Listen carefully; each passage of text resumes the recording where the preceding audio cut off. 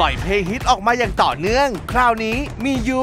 ก็เลยขอชวนแรปเปอร์ตัวจี๊ดอย่างสไปรท์มาร่วมทำเพลงด้วยซะเลย กับเพลงไม่อยากเป็นเพื่อนเธอแล้ว ที่พูดถึงอาการของคนคลั่งรัก ที่อยากขยับสถานะเป็นแฟนโซน งานนี้หนุ่มๆ ลงทุนสวมบทบาทเป็นเซลแมน ขาย boyfriend service ด้วยตัวเอง แฟนๆ ไปติดตามเรื่องวุ่นๆ ของวัยรุ่นนักรักใน MV เพลงนี้กันได้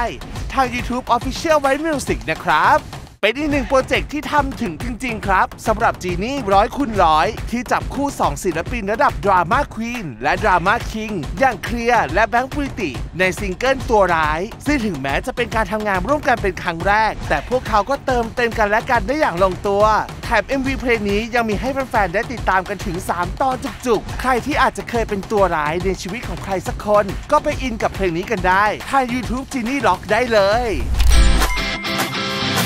เป็นการต่อยอดกระแสความแรงของเพลงรางวัลที่ 1 จาก 2 หนุ่มเฟิร์สเตอร์โดยเฉพาะเลยครับ พอด้วยเนื้อหาและดนตรีที่โดนใจแฟนๆ จึงทำให้จากเพลงสั้นสุดฮิตกลายมาเป็นเพลงยาวฉบับเต็มเพลงให้ทุกคนได้ลุ้นแบบไม่ต้องรอวันที่ 1 และ 16 ของทุกเดือนอีกต่อไป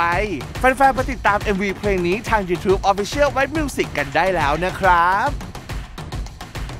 ถือเป็นการส่งท้ายเส้นทางการเป็นศิลปิน ที่ได้รับกระแสตอบรับจากแฟนๆท่วมท้นทีเดียวครับสำหรับ Cocktail Yours Ever Lifetime Exhibition นิทรรศการที่ขมวดรวมเรื่องราวศิลปะและเสียงเพลงจากวง Cocktail เอาไว้ด้วยกัน เพื่อทบทวนความทรงจำในการทำงานเพลงของพวกเขาตลอด 20 กว่าปีที่ผ่านมา แต่แฟนๆยังติดตามความเคลื่อนไหวของ Cocktail ต่อไปได้